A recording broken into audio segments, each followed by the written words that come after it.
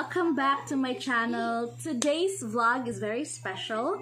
I'm actually going to do a food review. I think it's my first time and I'm very excited because the food that I'll be reviewing is actually from an old colleague. Um, way back when yeah way back few i think five or six or seven years ago um i happened to saw that she started a business. I'm just noticing my lipstick is not fair she just started a business and of course as also a new business owner i wanted to also support her. So i told her okay she um do send me and uh, send me the item or send me your chicken so I can try it out. And I'm so pleased how she responded. She actually said, Yan, give me an honest feedback. And you know what? Not everyone will say that. Usually, people will say, Uy, igna jud ha, na lami ha, or igna jud ha, nga kanang lami gid kayo, mag-order gid sila, wala. But what she instead said is that, yan, give me an honest feedback. So definitely, that's what I'm going to do in this vlog. An honest, honest feedback for Amegos Chicken Tinangad. Okay, so here in Cebu, for those who are not from Cebu, um, Cebuano language is very amazing. We have the tendency, I'm not sure if it's only in Cebu, no, maybe it's in also other places, but I observed it here, that we usually omit the L. So in, in Mindanao, because I'm originally from Mindanao, we say tanglad or tinanglad. But here they say tinangad. So Amigos Chicken Tinangad. So that's what I'm gonna do. And this was specially delivered by um, Kuya. Hi, Kuya! There. He delivered it earlier. And um, so, it's it's no longer hot. When it came, guys, uh, Kuya delivered it on a tawag ani dili sad ice bucket no but kato ganing mura siya kanang ku, ku Coolman? Coleman. Basta, pero pag abot niya, init pagid siya. And to note that it's from Talisay and I'm very far off from Talisay. So, it was really kept hot because I think mas lami siya if init. So, the chicken tinangad is already on our table and I'm gonna open it and I'm gonna tell you um, my honest, honest review. Just pause, wait lang.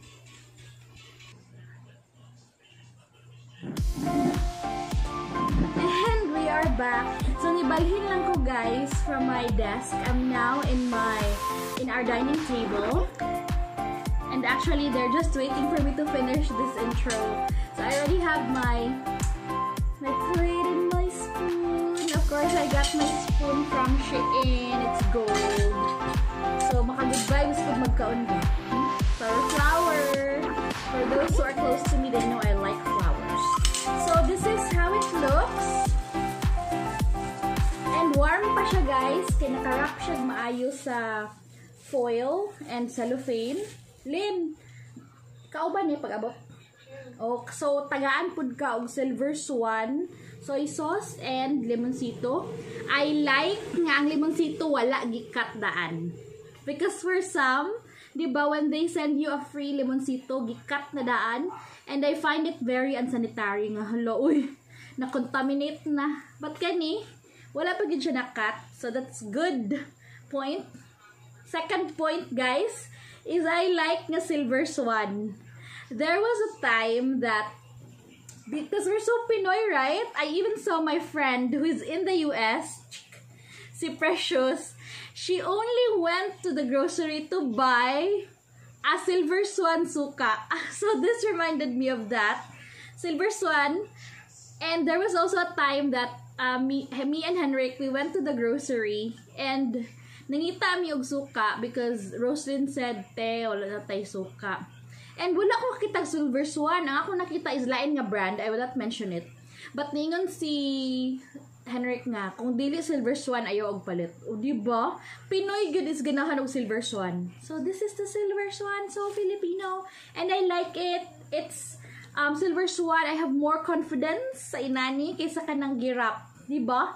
Other, uh, mamaligya og chicken kaysa gulan og water or I don't know, malahi ang lasa, di siya pure. So, kani, good job. Hmm, I like it. Sa tibot ng diha. So, mag-open ako, guys Oh my God, it's a little bit gahi. Roslyn, I need your help.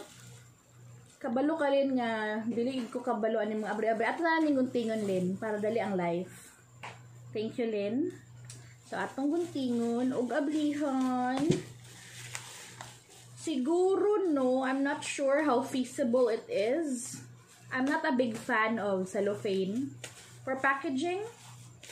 Because, you know, Mother Earth, siguro pwede og paper. Um, saan tawag na? Manila, parang bulsita gani, no? Better siya. Or maybe dahon sa saging, so it's more Filipino. I don't know. But that's just how I feel na nipadaplin. So, foil. Mmm, maka-excite guys. Mmm, humot. So, this is how it looks. And, na ako'y friend gaina nga ni order, nakita jud ko. Nakita ko na iya sang gipicturan, dito po siya nag-order. And, iya yung gipicturan ang pag-open, which, that's what I'm gonna do. I'm gonna use this. My golden spoon and fork. In fairness, okay ang iyang size. Oy, grabe jud ni nga tanglad, tangad. Dako jud kayo. Chicken tinangad jud siya. And me personally guys, I'm a big big big fan of spices, mga panakot, ganahan kay ko. Like kung magtula mi ang kanang mga kamatis, mga luya, mga sibuyas dahonan, ang uban kay ila ra na ipadaplin silang plato dili ka doon. Ako ako mo kaon anak kay mahal kay panakot niya dinhi mo kanon. It's very healthy. So I really like nga dako kay tangad. Akong pakit ay pakiton ti kahaon sa kadako. Oh, di ba? So I know uh, tangad in English is What's English of tangad? Oh my gosh. It's lang. Ano sa English of tanglad? Lemongrass, o di ba? Lemongrass is also very healthy. It adds flavor. That's why it's there. So I'm excited to taste this part. So ako lang yun i-zoom para maklaro ninyo ha.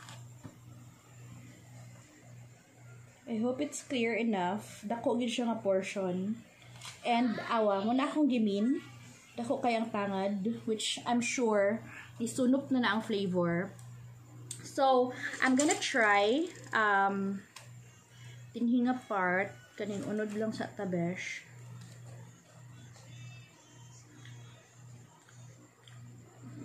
Dili siya parat. Sakto ra siya. Dinhinga balay. Ako nga igagaw din hinagpuyo sa una. May gid siya mga engkanto man tingali mo eh. Kay dili daw mi pa, wala daw parat.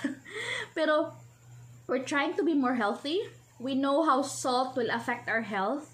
So, ganahan ko nga di siya parat because I noticed most of the, or yeah, some of the chicken that I've tried here in Cebu is very salty.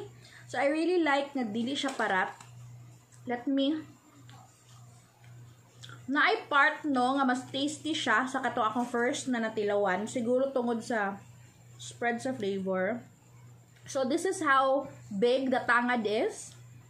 Ilang gi-wrap and roll. Mmm, finger licking good. Iko guys. And guys, dagan kay siya sabaw. I'm sure my son Andre will love this. Di ba lamit kay sabaw na siya sa rice? Char kay mukhaon no? In reality, dili ko na mukhaon guys. Namagad mo. Dami siya. Nasa yung pinatamis gamay na flavor. I'm not sure what made it sweet. Is it honey? Honey ba ni siya? But it's good. So guys, mag-dinner sa amin. You will be with us in time-lapse mode while we have our dinner. Ah, dili daw mo sugot si Henrik. So, I'll have dinner. Maybe focus only me, only to me. And we also prepared something. It's um, salad. Butangan pa ni siya suka and asin gamay. It has um, luya and sibuyas bombay and um, ampalaya. Ang ampalaya, besh, dili batasan, kung dili salad na siya or gulay. I'm excited to mix it with Amigos Chicken Tinangad. And I'll let you know my verdict after I have my dinner. I hope you also have a, a good dinner, huh? Watch out.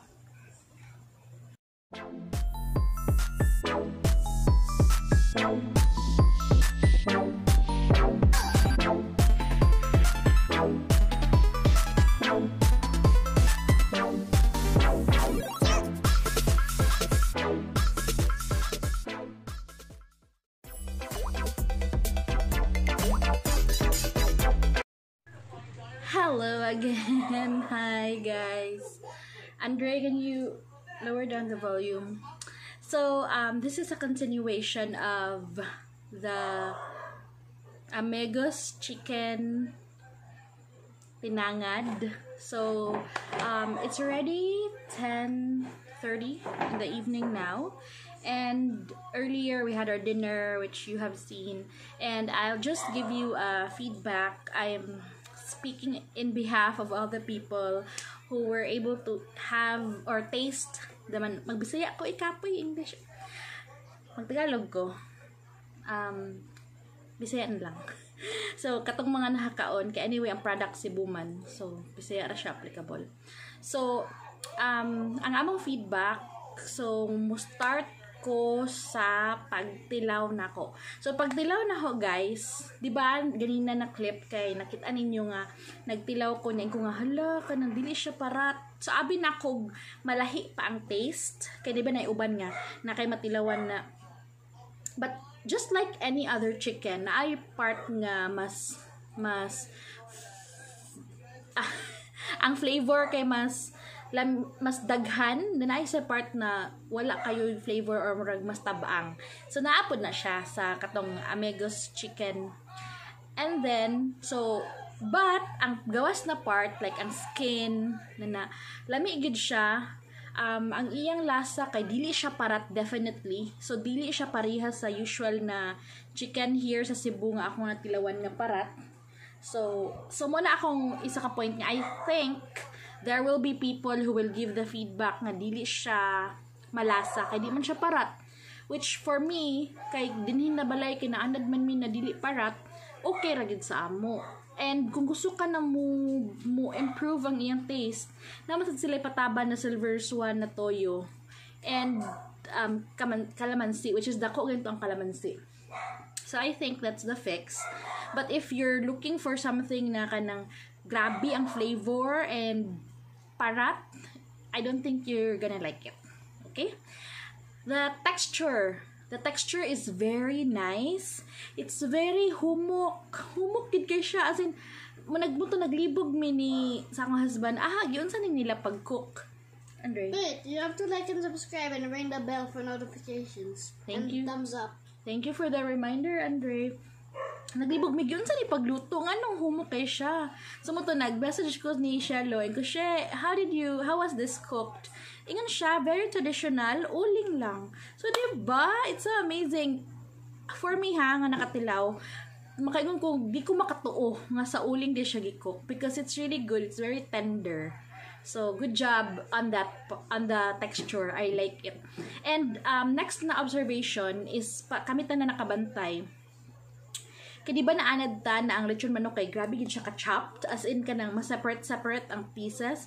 Kato if you notice sa clips ganina, inanha pa siya, then naa ang tangad sa tunga. So nawatala ko ni Shelo o sa kato akong friend na it wasn't intentional nga inadto ang pagka-cut. And what she said is yes. Gitulo ni tuyo nila para daw dili messy. Nato siya term gigamit. Andre. Nato siya term nga gigamit para daw dili mabungkag. So, I think it's inten- done intentionally. And why why was why did it matter for me? Kay ganahan magud ka na kanang pagbira nimo makuha na bitaw nimo siya right away. So kato lang siya is kanang hala nag-effort pa mi gamay para mabira siya fully. Kay ang nahitabo chop siya pero ang tunga gani nga part guys murag wala siya gi lahos og chop. So, murag ang tunga, nag-hold siya sa all parts. So, mag-effort pa kagamay. But then again, tungod kay humok man kay siya, even the bones na part, pag inanha nimo, tigid ang bo- bones, murag cartilage tingay sa manok, pag inanha nimo, is dali ra gid siya mapira. Pero mag-effort pa kagamay ra gid kaayo. Pero nabaguan lang ko kay lagi sa uban manok, dali ra siya. So kato, so human ako sa taste. Sa taste if I will rate it nine um I mean 10 is the highest. I'll rate it uh 9 simply because there are times nga mo crave ko parat. But overall, it's a 9. It's good and it, it feels healthy when you eat it. Kay, di man siya parat. Actually, daghan ako nakaon. Kay di man siya parat. Dili bito ko magilty. Like, kumukaon ko parat na lechon manok kay halo, uy, maginahinay ta kay parat. Diba? So, kato kay di man siya parat. So, naganahan dyan kong kaon. Ako actually ang last na human. So, dili ninyo makitaan sa time-lapse kay na, nalobat man ko ato. But ako ang last na human og kaon kay lagi nagana ganahan ko kay humok siya and dili siya parat. Balik-balik no. So, ang pagka-cut unsa pa man um, ang price di ay guys, right now, I only paid for 270 pesos. I think out of that, 50 ang delivery fee. I think the delivery fee is on promotion. Kaya nangutanam ako ni siya, halo siya, because this is from Talisay, guys, ha, mind you. Nangutanam ko niya siya, how much is the delivery fee? And siya 50 and it's fixed price. Hala, kalayo. That's why I told her, may pag-ipatok-tok nga ni mo. Anyway, so Shellus um, thinking about it. But, ang nag-deliver lagi si kuya, yung husband. And fixed price pa lang delivery fee, guys, which is 50, which is amazing deal for customers. And it's only 220 because I only paid 270. Diba? So, it's a good deal. Um, it's worth it. Definitely worth it. Dako po siya portion. Dili siya gamay na manok. Dako siya. Na, actually, nabinlan pa siya gamay. Usually, mahurot man na namo. Nabinlan siya gamay not because walay lami, but because dako siya na manok. Napa ko'y na-miss? Yes, so gidugang ni Henrik, the sabaw is lami. Um, for others, no, when you tilaw the, when you, kung imong tilawan ang sabaw mo, ay, parata ni, ay, nana, gani katulad sa kidili. Sakto ra yun siya. Murag ni compliment yun siya. So, lami kayong sabaw. What else? So that's it. So guys, let's support local. Let's support small businesses, especially now sa pandemic.